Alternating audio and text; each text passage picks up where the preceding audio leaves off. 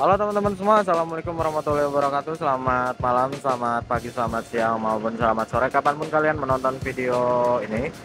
Kali ini saya berada di Terminal Kampung Rambutan Pada tanggal 8 September hari Jumat. Jadi hari ini adalah malam Sabtu Yang biasanya okupansi penumpang ramai Di hari Jumat ini alias malam Sabtu ini biasanya ramai. Cuma nanti kita lihat gimana kondisi ke depannya. Dan kali ini saya datangnya juga dadakan jam 6 saya baru datang. Dan di jalur sudah tersedia TD01 tujuan Pangandaran dan R181 tujuan Karangpucung. Tinggal tersisa dua unit saja keberangkatan malam ini.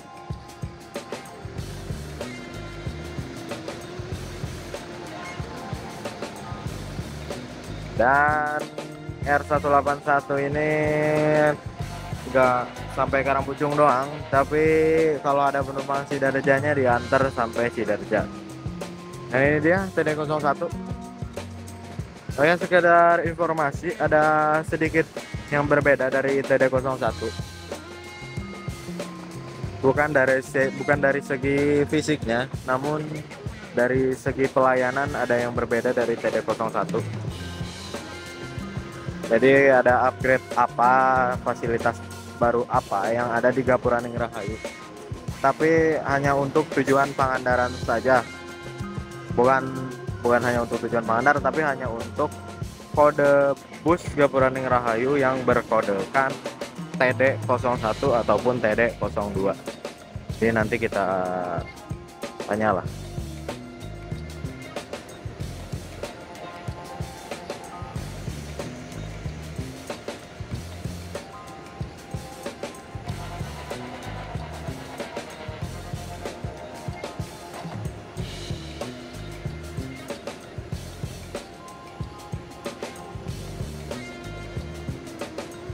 R181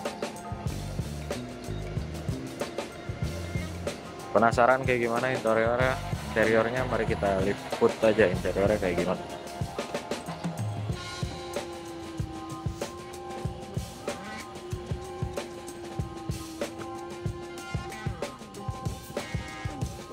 Kemarin kan coba juga kan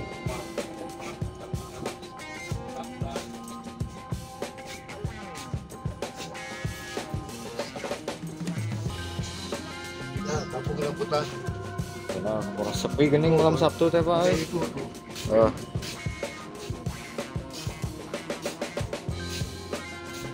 jadi ini joknya jok R181 bekas jok R137 nggak tahu bekas jok R137 atau R143 eh nggak nggak mungkin bekas jok R143 karena jok R143 itu udah dibawa ke Mahendra Trans. Berarti ini uh, joknya R137 jadi R181 menggunakan jok R137 tadinya R181 ini pakai jok 32 tarif 130.000 namun tidak lama kemudian diganti menjadi jok Tausit 22 menggunakan jok bekas R137 lumayan bagus ya joknya keren keren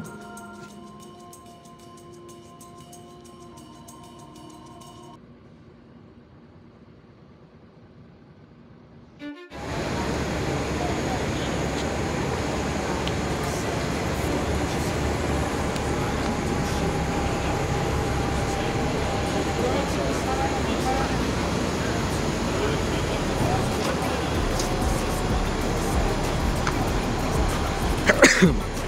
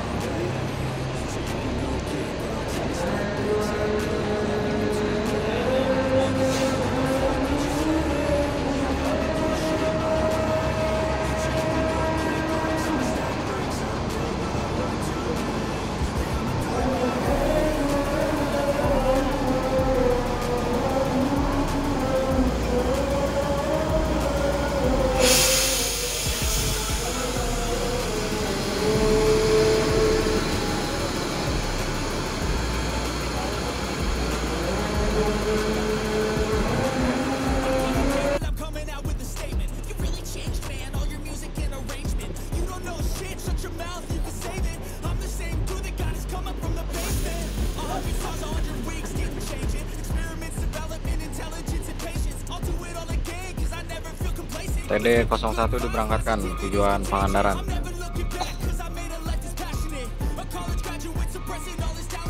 Jam 7 lewat 15 menit dan sekarang sisa R181 doang di sana. Itu juga udah mau berangkat